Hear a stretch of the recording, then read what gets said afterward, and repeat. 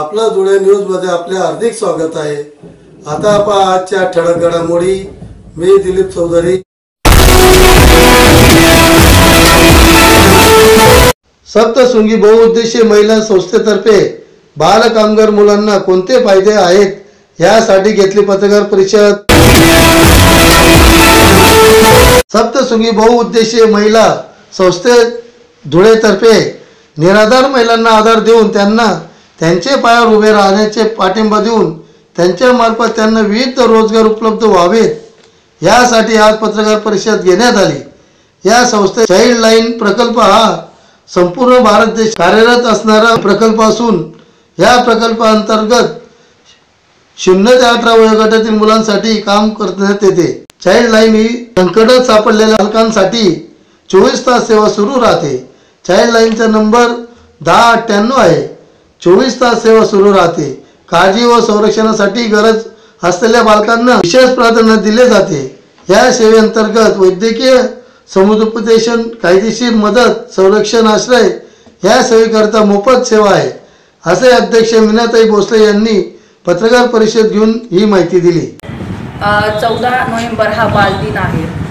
पण मात्र बालकांसोबत काम करताना जेव्हा एखादं बालक भीक मागतं जेव्हा एखादे बालक आईवडिलांपासून दूर राहतो जेव्हा एखाद्या बालकाला आरोग्याची समस्या निर्माण होते किंवा एखाद्या बालकावर शारीरिक किंवा मानसिक आ आघात होतो तर अशा सर्व बालकांवर झालेले आघात जर आपल्याला पुसून काढायचे असतील त्यांच्यावरचे अन्याय अत्याचार मिटवायचे असतील तर सर्वात महत्त्वाचा मुद्दा जो आहे की बालदिनाच्या निमित्ताने प्रत्येक पालकाने पहिले संकल्प करा की मी माझ्या मुलाला कोणत्याही प्रकारच्या म्हणजे त्रासाला बळी नाही पडू देणार. नंतर परत समाजाचं पण दायित्व आहे.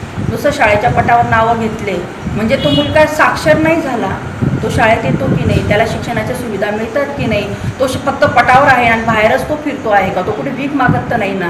तो कुठे भंगार वेचत तर फिरत नाही ना? हे सर्व महत्त्वाचं आहे आणि बालकांचा हक्क बालकांना दिलाच पाहिजे. बालदिनाच्या निमित्त ही मी कडकडून सगळ्यांना विनंती करते. कारण त्याचा हक्क दिला तर एक सुदृढ भारत देश एक सुदृढ नागरिक भारत देशात तयार होईल. आणि बालकच जर वंचित राहिला बालक जर पीडित राहिला तर उद्याचं भारताचं भविष्य हे उज्ज्वल घडू शकतं